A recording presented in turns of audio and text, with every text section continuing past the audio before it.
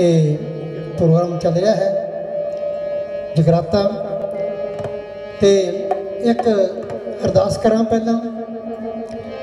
ਗੁਰੂ ਮਹਾਰਾਜ ਚਰਨਾਂ ਵਿੱਚ। ਉਹ ਤੋਂ ਬਾਅਦ ਭੇਟਾ ਮੈਂ ਉਹ ਹੀ ਰੈਡੀ ਕਰਕੇ ਲਿਆਇਆ ਸੀ, ਜਿਹੜੀ ਚੋਨੀ ਗਾ ਗਿਆ। ਪਰ ਦੁਬਾਰਾ ਫੇਰ ਗਾ ਦਵਾਂਗੇ। ਬਾਬਾ ਜੀ ਦਾ ਹੁਕਮ ਅਨੁਸਾਰ। ਆ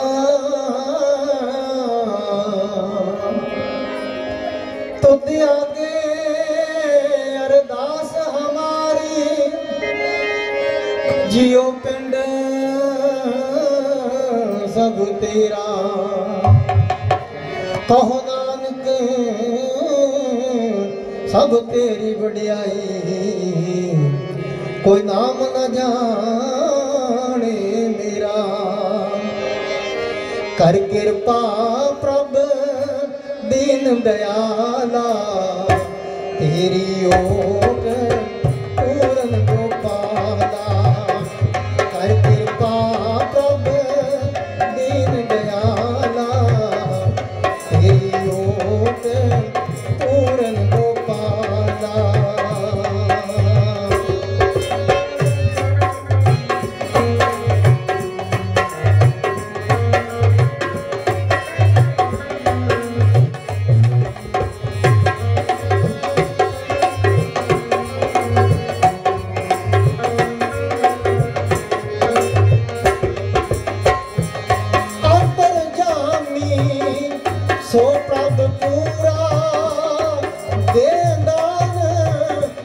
ਸਾਧੂ ਕੀ